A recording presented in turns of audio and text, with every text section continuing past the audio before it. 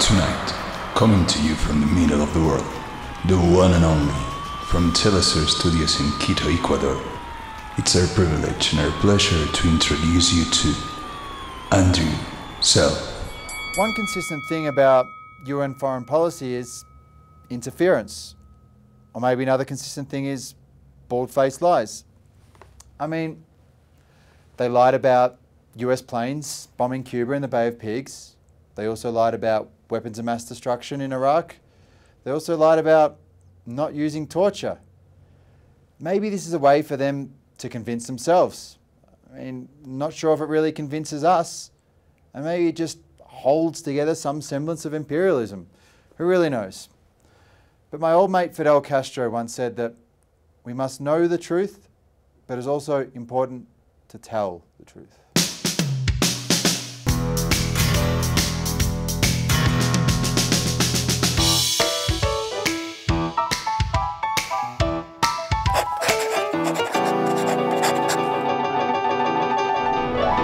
Welcome to the Self Show.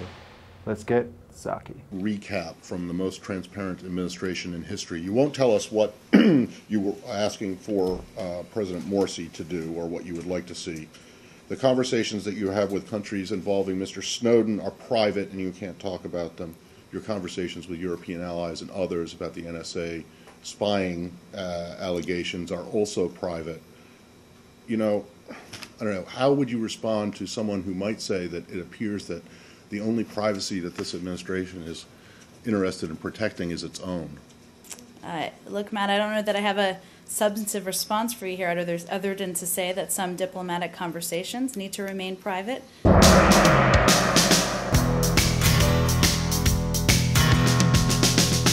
After Venezuela accused the United States of plotting another coup, State Department jokes person Jen Psaki said it was ludicrous. She additionally added that it was long-standing United States policy not to support regime change by non-constitutional means. President Maduro last night went on the air and said that they'd arrested multiple people who were allegedly behind a coup that was backed by the United States. What is your response? Uh, these latest accusations, like all previous ac- such accusations, are ludicrous. As a matter of long-standing policy, the United States does not support political transitions by non-constitutional means. Political transitions must be democratic, constitutional, peaceful, and legal. We've seen many times that the Venezuelan government tries to distract from its own actions by blaming the United States or other members of the international community for events inside Venezuela. Hmm, Jen, I think there are a few problems with that, as my esteemed journalistic colleague points out in the video. But one of the more interesting things is that when she gets caught out, she kind of squirms and then smirks. I guess coups are kind of funny for those in power. But our friends in Venezuela would have something to say about that.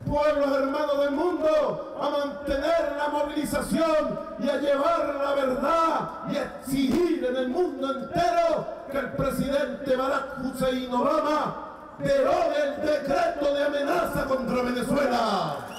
Unfortunately, it appears that Jen doesn't know anything about history, politics, geopolitics, or just plain facts.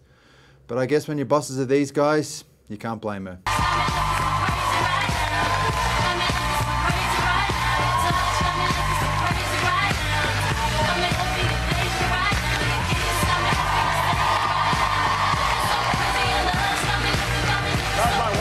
As a historian, history kind of speaks for itself.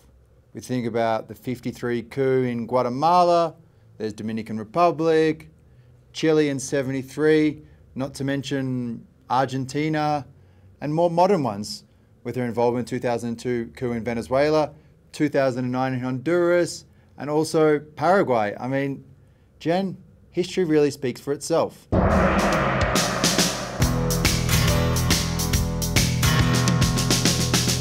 I almost feel sorry for Jen Psaki. She has to defend President Obama's stupid foreign policy decisions more than anyone on a daily basis.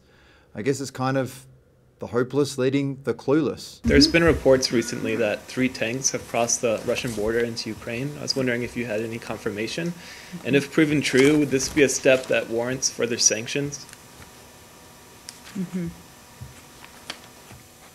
I think think I do have something on this. Um, unfortunately, I'm not sure I have it with me. So why don't we uh, get that to you and anyone else who's interested after the briefing? Go. Is go it, ahead. well, can we stand?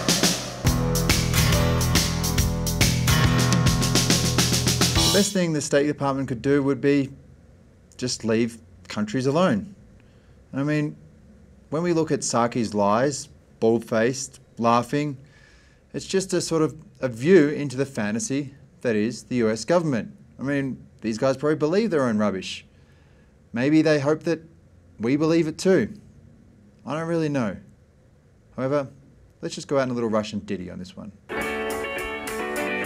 Мы живем с тобой в обмане, все события как в тумане. Кто развеет этот мрак, честно скажет, что да как. Это знает всякий, это не слова. Компетентней псаки, нету существа. Симпатичней псаки и умнее псаки. Компетентней псаки, нету существа.